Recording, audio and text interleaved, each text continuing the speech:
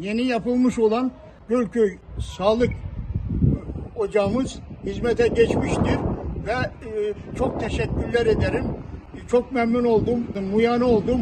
Allah razı olsun. Güzel hizmetler veriyorlar. Devletimizden ve milletimizden, toplumumuzdan Allah razı olsun.